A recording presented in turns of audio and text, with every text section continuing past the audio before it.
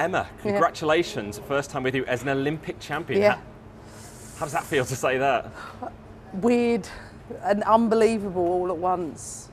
You know, you hear about how special the Olympic Games are, but to participate as a coach in this has been the most unbelievable experience of my life. And to come out gold medal winners, ah, I don't think I can quite believe it, to be honest. Having won so much, seven WSL titles along with all the other trophies at Chelsea, but then to do it on the world stage, Yeah. can you comprehend conquering the world? No, I'd, I'd say not. And all the successes have been great fun. I've really enjoyed them. But winning gold at the Olympic Games, I'm not sure it gets much better than that. And it's the competition I always grew up watching and loved watching. So to lead a team to success after about 80 days in the job, I, I, I, I simply can't believe it. How have you done it? You went from picking up the trophy with Chelsea in May straight into the US. You've had 10 games, the 10th being the one where you lift the trophy. great people. I got brought my backroom staff with me, which was really helpful. But the players on the pitch, they made it so much easier. They just embraced me as a coach. They were coachable.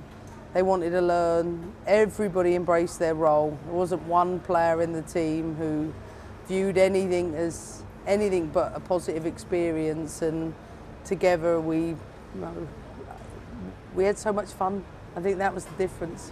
One of the players was saying about how you brought humour to the camp. You know, I, do, I, I'm out of England, so it, it, I, I don't mean that in a bad way. I, I mean that I've always found myself to be a little bit lighter when I'm in America. Um, I don't know why that is. Maybe my formative years working there have such an appreciation for the place. But don't get me wrong, I'm a proud Englishwoman today, winning the gold medal, albeit for another country. It's been appropriated. Yeah, I mean, it's listen. I I didn't have to face Team GB, so there was no conflict of interest. But um, I'm just, I just uh, speechless. I'm genuinely speechless. Do you feel it's already changed you or given you this new lease of life? Oh, it's definitely given me a new lease of life. I didn't realise how much I needed the team, uh, and vice versa. We needed each other. And I've always spoken about the wonderful memories I had at Chelsea, but I needed a change. And I couldn't have asked for a better start. And one of my players said to me yesterday, "It's all down here from all downhill from here." Uh, hope not, but I get the point. And, you know, people might have forgotten the fact you picked up the team in a low, struggled at the Women's World Cup last Yeah. year, hadn't won the Olympic gold since 2012, and some have seen it as you restoring the US to the pinnacle again. I, ju- I don't get caught caught up in that. I just know I was with a magic group, it was a special time together, and just want to celebrate this achievement and stay in the moment for one more day, and what's been the trip of a lifetime.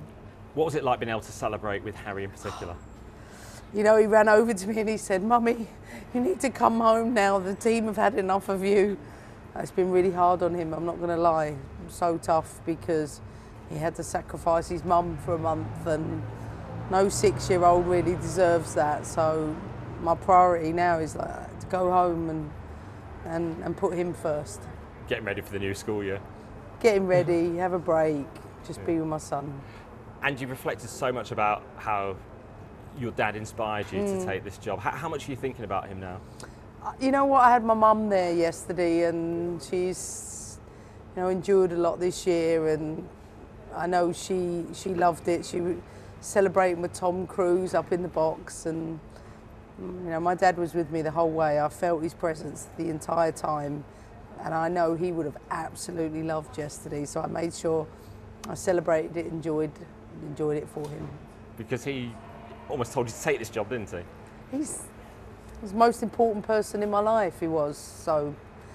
I, I just I can't believe I got to do something we talked about so often, and as I said, um, he was with me the whole time. I could feel him with me on the touchline. A really strange feeling, but one that, yeah, the rest of my family were there, and I know after a hard year it was so great for them. Yeah. Obviously, you don't get to have a medal. They're going to get you one. No, but like, I've got memories. like at the end of the day, I coached a, an Olympic gold medal winning team. I don't need a medal for that. I, these people have really you know, opened up and I've enjoyed being in their presence and their company and for me that's even more valuable than a medal. And on to the World Cup now. Yeah, have a break first. Congratulations, Emma. Thank Thanks you. for joining us. Cheers, Thank you. thanks a lot.